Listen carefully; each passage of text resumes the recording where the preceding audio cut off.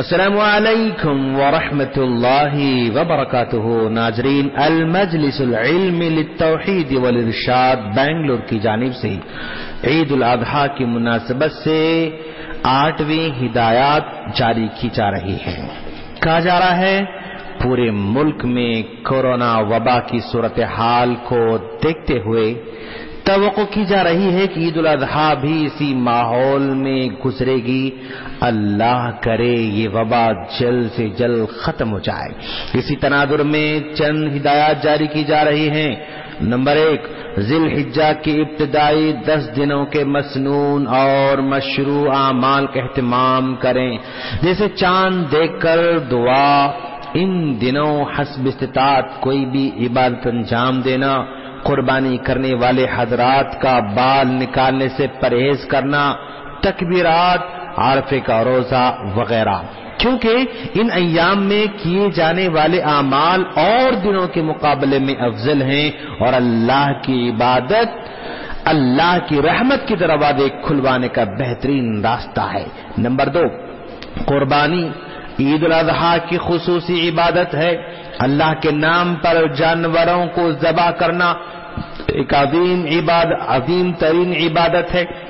लिहाजा कुर्बानी के सिलसिले में चंद हिदायत का ज़रूर पास लिहाज रखें। कुर्बानी से पहले और जिबा के वक्त जानवरों के साथ हुस्न सलूक और इस इबादत के अंजाम देने से मुतालिक इस्लाम की हर छोटी बड़ी हिदायत की पाबंदी करें। मास्क वगैरह के इस्तेमाल और लोगों से समाजी फासला सोशल डिस्टेंस की पाबंदी के साथ अगर अपने घरों पर कुर्बानी कर सकते हो तो करें, वरना घरों पर कुर्बानी से परहेज करें। घर पर कुर्बानी न कर पाने की सूरत में आप अपना जानवर आबादी से बाहर कहीं भी जबाह करवा सकते हैं, या किसी और काबिल एतमाद शख्स को जानवर खरीदने से लेकर जबाह करने और गोश्त की तकसीम कर देने से मुतालिक कोई भी ज़िम्मेदारी दे सकते हैं। गोश्त की तकसीम हर घर जाकर करना ज़रूरी नहीं है।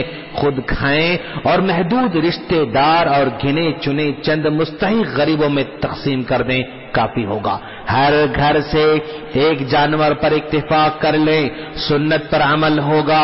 बचे हुए पैसे से वबा से मुतासर मुस्तक और बेरोजगार लोगों की मदद भी हो जाएगी इनशाला इसी तरह याद रहे कि मैयत की तरफ़ से कुर्बानी के बजाय सदका करना ज़्यादा अफजल है।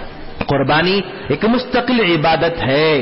उसकी जगह पैसा सदका करना, उसका बदल नहीं हो सकता है। जो इलाके कंटेनमेंट जोन्स के दर्जे में हूँ, वहाँ कुर्बानी बिल्कुल न करें। और बयान की गई तफसील के मुताबिक किसी दूसरे इलाके में या किसी और को ज़िम्मेदारी दे दें। ईद से पहले, ईद से बहुत पहले जानवर खरीद लेने या अपने घर बांधे रखने के सिलसिले में सेहत के उसूलों का और हुकूमत की हिदायत का ज़रूर ख्याल रखें। ईद और कुर्बानी के मजीद तीन दिन, यानी अयाम तशरीक के दिनों में गली मोहल्ले की सफ़ाई का खास ख्याल रखें।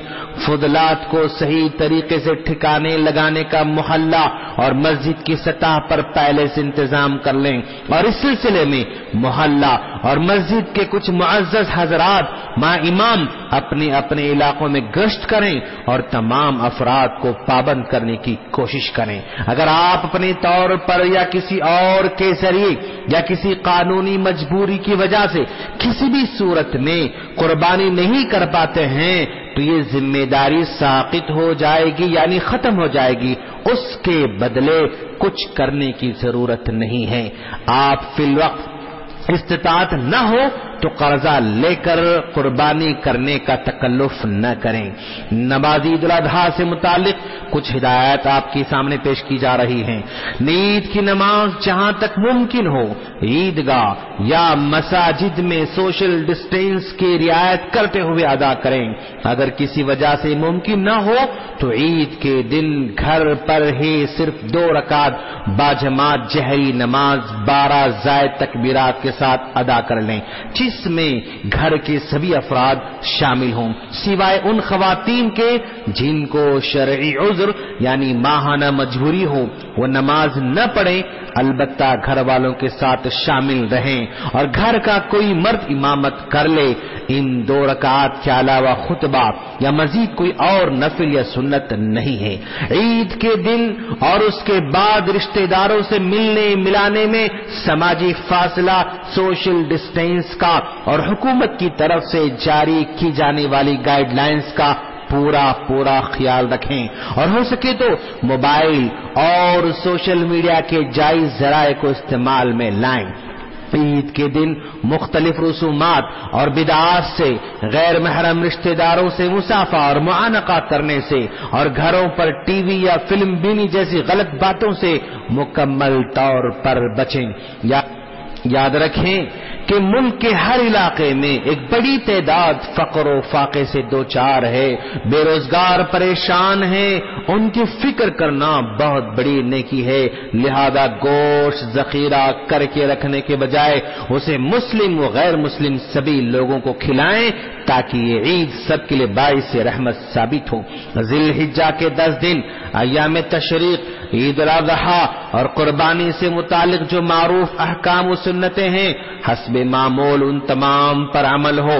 और जिन मसाइल में मजीद रहनुमाई की ज़रूरत हो, उनके सिलसिले में अपने इलाके के मुस्ंद से रबता कर लें। आने वाले फजीलत के अयाम में खसूसी तौर पर तोबा व इस्तफार अल्लाह की तरफ़ रुजू व इनाबत और सबके हक में दुआ खैर करना न भूलें। अवामुन्ना से अपील है कि ईद की मुनासिबत से वबा के सिलसिले में हुकूमत और महकम सेहत की हिदायत की पाबंदी ज़रूर करें। और हुकूमत से मुतालबा है कि इस ईद को अमन सुकून के साथ गुजारने के सिलसिले में ज़रूरी सहूलतें फराहम करे। अल्लाह हम सबका हामी व नासिर है। असल वरहमत ला वबरकातुहू